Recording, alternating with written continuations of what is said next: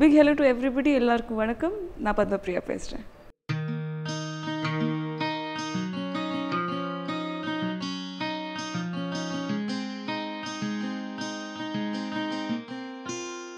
அப்போ அவர் சொன்னால் நீங்கள் சரி நீங்கள் மெயின் ரோல் பண்ணலாம். You'll have to do a guest appearance நான் சரி ஓகே நான் இந்த கேரக்டர் அட்ராக்ட் பண்ணிக்கலாம். நான் இது பண்ணவே இல்லை. இந்த கேரக்டர் சொன்னேன். நான் சொன்னேன் ராம் என்னமோ நீங்கள் கெஸ்ட் அப்பியரன்ஸ் சொன்னேன். நான் ராமோட ஸ்கிரிப்ட்லாம் பேசுறச்சே ரொம்ப சீரியஸான ஆள் நினைப்பேன்.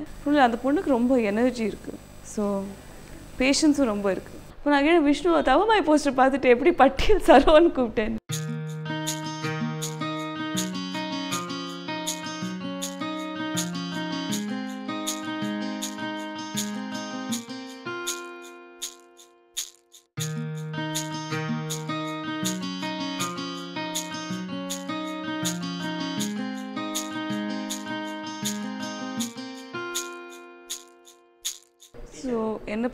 என் எல்லா படங்களுமே though I was I always play the heroine அந்த ஹீரோயினுக்கும் ஒரு கேரக்டர் இருக்கும் கட்டாயமாக ஸோ அதுக்கு ஐ ஆல்வேஸ் தேங்க் மை என்னோட இயக்குனருக்கு எல்லாருக்கும் நன்- நன்றி. ஸோ வெறும் வந்துட்டு போகிற கேரக்டர்ஸ் எனக்கு அவ்வளோ பண்ண பிடிக்காது. Either the film has to be good or the character has to be good or ரெண்டும் அமைஞ்சானா ரொம்ப நல்லாயிருக்கும் என்னை பொறுத்த வரையும். Uh, தங்க மீன்களை பொறுத்த வரையும் நானும் ராம் இது பேசிச்சு ராம் கேட்டார் நான் இந்த, இந்த வைஃப் ஃபுட் கேரக்டர் பண்ணுவேன் நான். பட் எனக்கு தோணித்து நான் அதில் ஒரு அவ்வளோ நாவல்ட்டி ஃபேக்டர் எடுத்துன்னு வர முடியாது. நான் டன் தவமையில் அந்த மாதிரி ஒரு கஷ்டப்பட்ட ஒரு லோவர் இன்கம் பொண்ணாக வந்ததுனால அதில் ஒரு நாவல்ட்டி ஃபேக்டர் இருக்காது நான் எனக்கு எனக்கும் தோணித்து. Plus I was not inspired to do it but I really wanted to support the film in every way அப்போ அவர் சொன்னால் நீங்கள் சரி நீங்கள் மெயின் ரோல் பண்ணலாம். You'll have to do a guest appearance and I சரி ஓகே ஒரு எவிட்டாவோட character பண்ணுறதுக்கு முன்னாடி நான் என்ன பண்ண போகிறேன் எதுக்கு பண்ண போகிறேன்லாம் நான் கேட்டுட்டுலாம் என் தங்க பெண்களில் பண்ணல. ஸோ லொக்கேஷன் வந்து த ஈவினிங் அவர் எவிட்டாவோட கேரக்டர் சொன்னாங்க.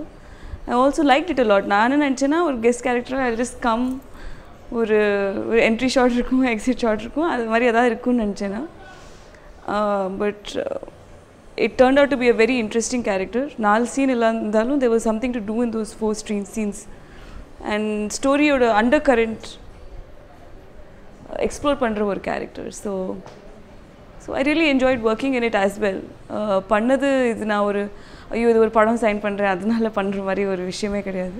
இது என் எவ்வளோ ராமோட தன் படமும் அவ்வளோ என்னோட படம் தான். Uh, அந்த மாதிரி தான் பார்க்குற வாழ்க்கும் தோணும் எனக்கு நினைக்கிறேன். ஏன்னா அந்த படத்தோட கண்டென்ட்டும் படத்தோட ப்ரெசன்டேஷன் தாட் ப்ராசஸ்ஸே அந்த ஒரு லைனில் இருக்குது ஸோ என் படத்தில் நான் ஒரு சின்ன ஒரு சின்னவோ பெரியோ எவ் எந்த ரீ விதத்தில் நான் பார்ட்டிசிபேட் பண்ண முடிச்சதோ அந்த அந்த விதத்தில் பார்ட்டிசிபேட் பண்ணுற ஒரு ப்ராஜெக்ட் நான் தங்க மீன்களை நினைக்கிறேன்.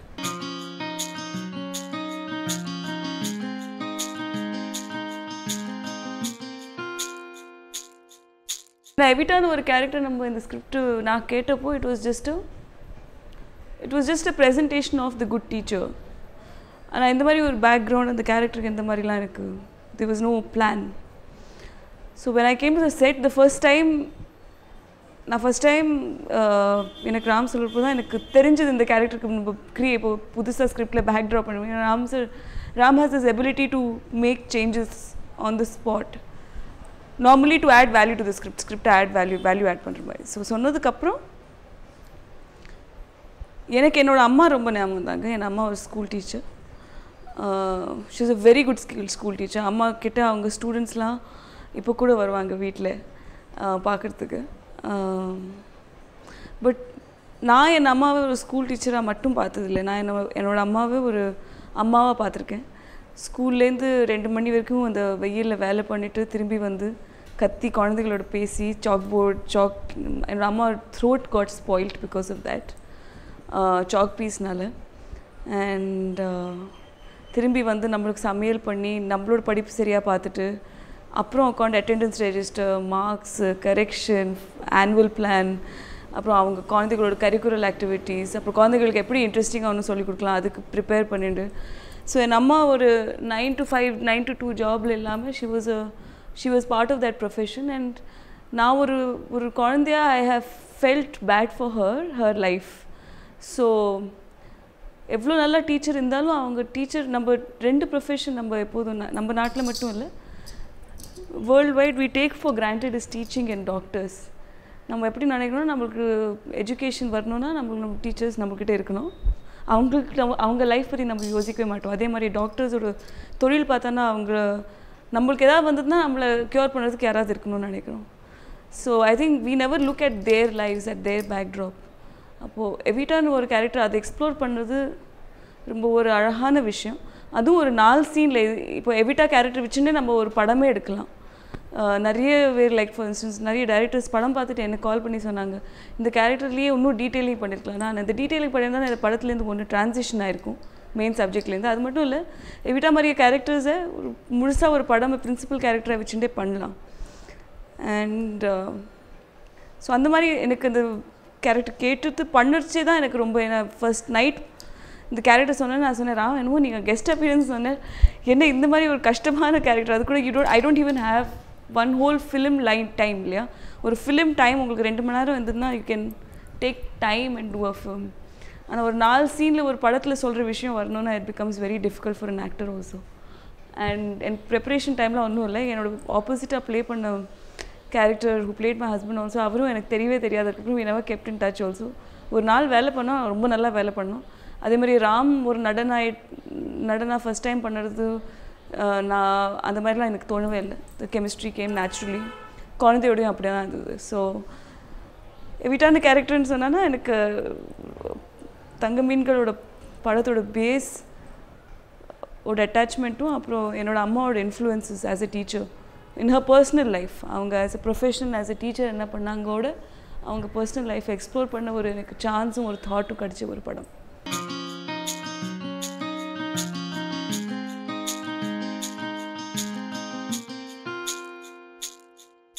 ஸோ நான் ராமோட ஸ்கிரிப்ட்லாம் பேசுகிறச்சு ரொம்ப சீரியஸான ஆள் நினைப்பேன். ஷூட்டிங் டைமில் தான் I think he's a very fun person on location shooting பண்ணுற மாதிரி யாருக்குமே தோணாது.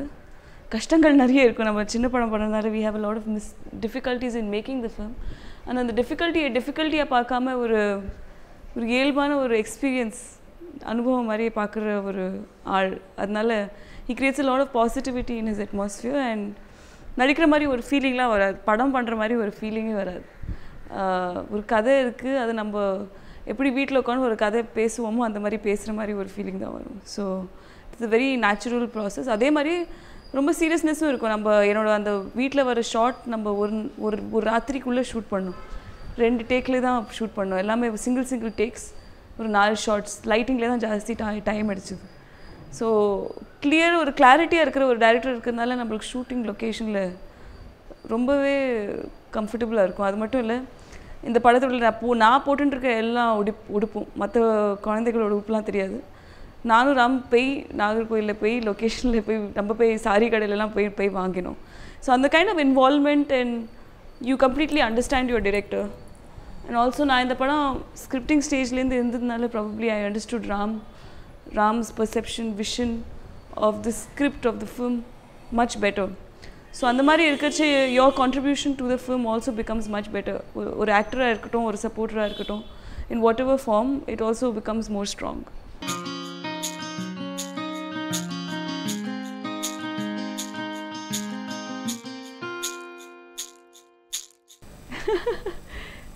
so என்னை பொறுத்தவரையும் இது Ram knows how to direct child very well அது சொன்னாலும் அந்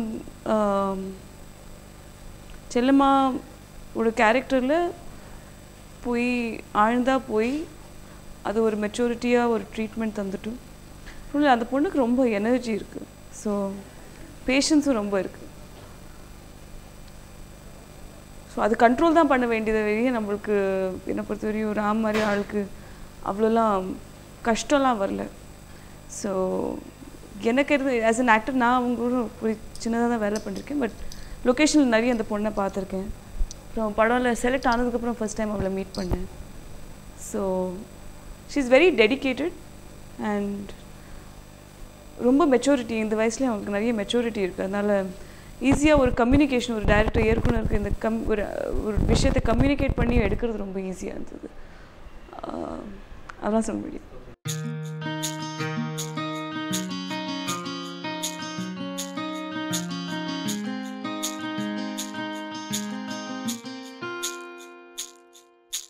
நான் நான் தேட்டரில் போனேன். எனக்கு ரொம்ப ரிலீஃபாக இருக்குது ஒன்று படம் ரிலீஸ் ஆச்சு.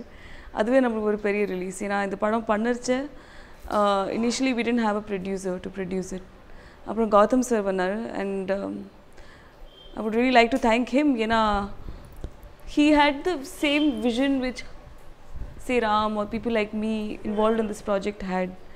And அவர் வந்து அந்த ஒரு ஸ்- ஒரு ஒரு பாயிண்ட் ஆஃப் அப்ரூவல் தந்தப்போ நம்மளுக்கும் we also get a confidence இல்லையா? And he was a great sense of support படம் ரிலீஸ் ஆனதுக்கப்புறம் even the second producer is bought the film and when the audience really like it you feel அந்த நாலு வருஷம்லாம் எப்படி போன மாதிரி இருக்குது you really feel it's worth it நான் இந்த மாதிரி ஒரு கதை வெளில வர்றது ரொம்ப அவசியம். அது ஏற்றுக்கிறது அதுக்கு மேலே இம்பார்ட்டன்ட் ஸோ இது ஏற்றுக்கிறதுன்னு சொல்கிறது ரொம்ப ரொம்ப சந்தோஷமான ஒரு விஷயம் தான் கட்டாயமாக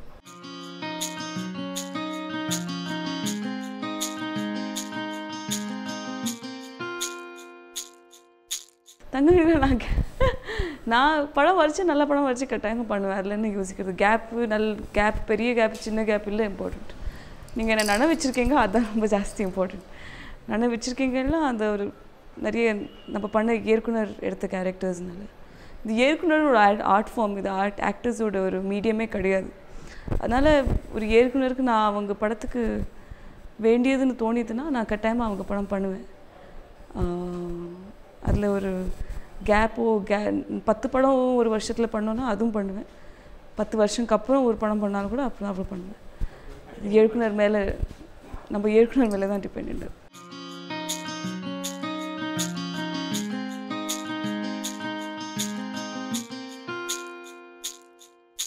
என்னை பொறுத்தவரையும் நான் பண்ண எல்லா படங்களும் ரொம்ப ரியலிஸ்டிக் தான். So it's not different for me to do Ram's film ராமோட படம் ஏன் வித்தியாசம்? எனக்கு ஒரு அனுபவமாக ஏன்னா நம்ம ஒரு இயக்குனர் வேறு மற்ற யோ- இயக்குனரோட கம்பேர் பண்ணக்கூடாது ஃபஸ்ட்டு அது மத் அது மட்டும் இல்லை ஒரு படம் மற்ற படத்தோட வேறு. ரியலிஸ்டிக் படம் தான் நல்ல படங்கள். நான் ரியலிஸ்டிக் ஃபிலிம்ஸ் நல்ல படங்கள் இல்லைன்னு சொல்கிறது தப்பு. இப்போ நீங்கள் சிம்புதேவனோட படம் பார்த்தேன்னா it's it's comic caricature films and it's imaginative based in realism but ஒரு சரியல் இமேஜினேஷன் ஃபிலிம்ஸ் அது ஒரு டோட்லி டிஃப்ரெண்ட் ஜானர் அந்த மாதிரி படங்களும் நம்மளுக்கு தேவை. எவ்வளோ எவ்வளோ நம்மளுக்கு தங்க மீன்கள் மாதிரி படங்கள் தேவையோ இண்டிபெண்ட் ஃபிலிம்ஸ் லைக் தங்க மீன்கள் இம்போ இஸ் இம்பார்ட்டண்ட் தவமாய் இல்லாட்டி பட்டியல் இல்லாட்டி ஏன்னா ஒரு ஒரு சோஷியல் ஸ்டாட்டாகவும் ஒரு ஒரு சோஷியல் திங்கிங்கும் ஒரு ஒரு கேட்டகரிஸ் எக்ஸ்பிளைன் பண்ணுற மாதிரி ரிஃப்ளெக்ட் பண்ணுற மாதிரி ஒரு கட்டாயமாக படங்கள் வரணும். அது மட்டும் இல்லை சினிமா ஒரு வெறும் ஒரு எஜுகேட்டிவ் எக்ஸ்பீரியன்ஸ் மட்டும் இல்லை it's also an experience so எல்லா படங்களும் இந்த மாதிரி யோசிக்கவே வச்சிருந்தா அப்புறம் அதோட purpose of entertainment will be lost எல்லா படங்களும் எஜுகேட்டிவ் அண்ட் என்டர்டெய்னிங்காகவும் இருக்க முடியாது. ஸோ அந்தந்த படத்துக்கு அது என்னென்ன தேவையோ அதை பண்ணி ஆகணும். என் என்னோட கேரியர் நீங்கள் பார்த்தோன்னா எனக்கு I have been very lucky to அது மலையாளமாக இருக்கட்டும் தமிழாக இருக்கட்டும் work with diverse range of directors அது சிதிக் சார் மாதிரி ஒரு பாடிகார்டு மாதிரி படம் எடுக்கிற ஒரு டைரக்டராக இருக்கட்டும் இல்லாட்டி ராம் தங்கமீன்களோ இல்லை இல்லைனா வசந்த் சார் சத்தம் போடாதையாக இருக்கட்டும் இல்லாட்டி விஷ்ணு ஏஜ் குரூப் ஆஃப் டைரக்டர்ஸாக இருக்கட்டும் இல்லாட்டி இல்லாட்டி அடூர் சாராக இருக்கட்டும் ஷாஜி அண்ட் இருக்கட்டும். Range of directors nature of of making subjects of of making அந்த வெரைட்டி எனக்கு நிறைய கிடச்சிருக்கு. ஆஸ் அன் ஆக்ட்ரஸ் ஒரு நடியாக எனக்கு அந்த வெரைட்டி எவ்வளோ எவ்வளோ எக்ஸ்ப்ளோர் பண்ண முடியுமோ அதுதான் என்னோட ஸ்ட்ரென்த்தாக நினைக்கிறேன் வழியே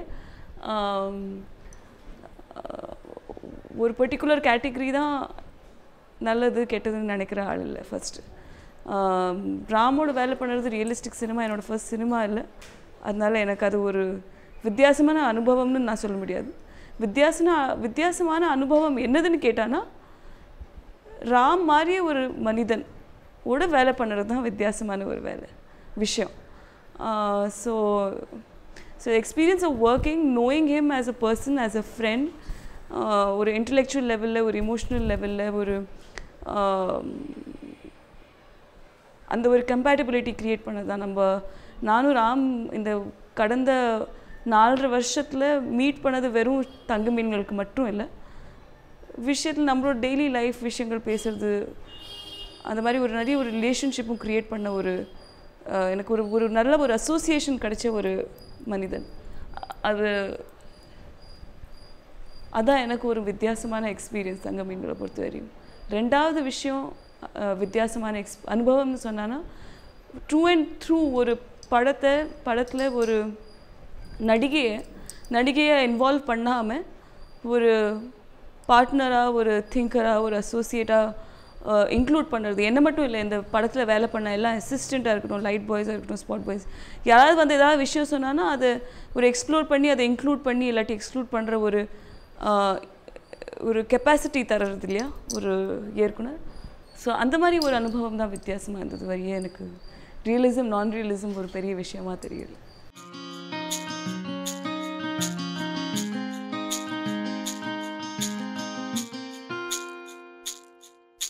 அது ரொம்ப strange because I love doing humour more than serious roles ஆனால் என்னமோ எனக்கு சீரியஸ் ரோல்ஸ் தான் வந்திருக்கு. அண்ட் இட் வாஸ் ஸ்ட்ரேஞ்சர் ஏன்னா காஸ்டிங் பட்டியலோட காஸ்டிங் நீங்கள் பார்த்தேன்னா தவமாயோட போஸ்டர் பார்த்துட்டு தான் என்னை விஷ்ணு கூப்பிட்டாரு. அப்போ நான் கேட்டேன் விஷ்ணு தவமாய் போஸ்டர் பார்த்துட்டு எப்படி பட்டியல் சரோன்னு கூப்பிட்டேன்னு. So I don't know so நான் தான் சொல்கிறேன் I been extremely lucky to kind of get the range of directors age group of directors thought process of directors அதே மாதிரி நீங்கள் பார்த்தா என் படம் பார்த்து அந்த மாதிரி படம் பண்ணிட்டு இரும்புக்கோட்டை முருகன் சிங்கம்ல எனக்கு அவ்வளோ பண் பண்ணுறதுக்கு இருக்கோ இல்லையோ there is a different kind of kick to that film இல்லையா so for me to do a cowboy film was a very difficult proposition என்னை பொறுத்தவரையும் that was a very difficult film for me to do so I have been lucky and I hope I continue to be lucky and இந்த மாதிரி இயக்குனர் specially இப்போ தமிழில் நிறைய இயக்குனர் தெரிஞ்சவங்க தெரியாதவங்க சினிமா ரசிக்கிறவங்க லைஃப் லைஃபை ரசிக்கிறவங்க நிறைய வராங்க. And it would be great to be அவங்கள தெரிஞ்சுக்கிறதுக்கும் அவங்க படங்கள் பண்ணுறதுக்கும் I would feel extremely grateful about that if I could have an opportunity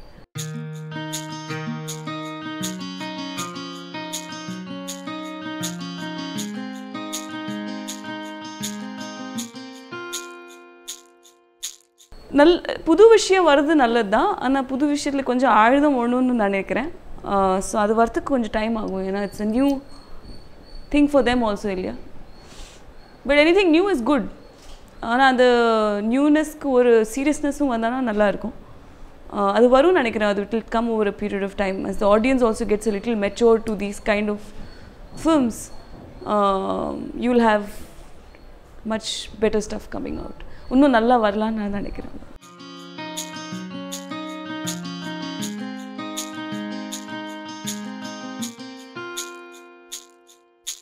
நான் இப்போ தான் I was studying in New York visiting என்னோடய மாஸ்டர்ஸ் இன் பப்ளிக் அட்மினிஸ்ட்ரேஷன் பண்ணியிருந்தேன். ஸோ இப்போ தான் வந்திருக்கேன் திரும்பி.